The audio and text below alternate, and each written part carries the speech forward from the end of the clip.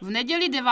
listopadu posledním utkáním, tentokrát však předehrávaným jarním kolem, ukončili fotbalisté Vícemilic podzimní část fotbalové sezony 2014-2015 okresního přeboru Vyškov s mužstvem Kobeřic.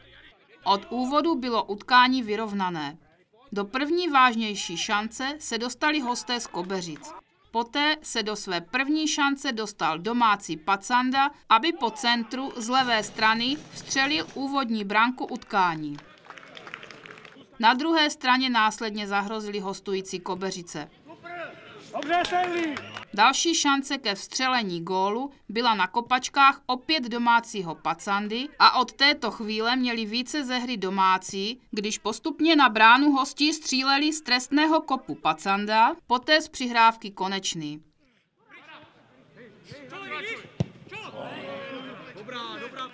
Když už se zdálo, že domácí přebírají kontrolu nad zápasem, vstřelili hosté z Kobeřic výstavní gól do šibenice vícemilické bránky Kadlecem.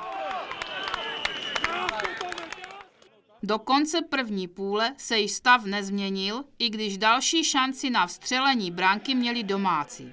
Do druhé půle nastoupili aktivněji hosté a měli převahu v poli. Byli to však domácí vícemilice, kteří si nejprve málem střelili vlastní gól, aby na opačné straně hřiště hlavičkoval Pacanda, po uvolnění střílel na bránu hostí Sisel a poté bez úspěchu stejný hráč.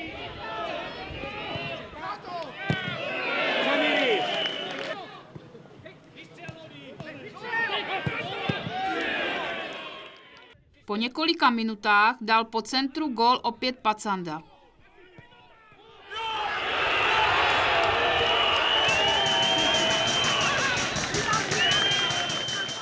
Následovala šance Sisla a Pacandy.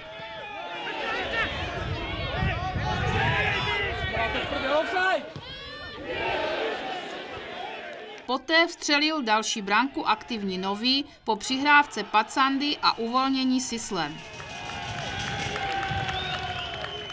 Za stavu 3-1 pro domácí se už hosté zmohli jen na ojedinělou šanci. Naopak domácí měli více ze hry a opět šance postupně nevyužili, nový a závěrem i Pacanda. Více milice po podzimu sídlí na čtvrtém místě okresního přeboru Vyškov s 25 body. Skončila podzimní část letošní sezóny, jak bys zhodnotil? Byl jsem spokojený hlavně s domácími zápasy a jako celkem převedenou hrou. Venkovní zápasy nám moc nevycházely, nevím proč, protože sestava byla víceméně stejná na nějaký pár změn, ale nedošli jsme na to, proč se nedaří venku, jo, musíme na tím zapracovat, ale celkově jsem spokojený, když já jsem většině nespokojený trenér, takže furt se dá, dá něco zlepšovat, ale pořád se to dá jako zkvalitnit. Uvidíme, přes zimu potrénujeme a chtěli bychom se udržet jako na předních příčkách okresních přeboru. Jako. V letošním roce jste posílili extraligovým Pacandou, tak jak se projevila tahle posila?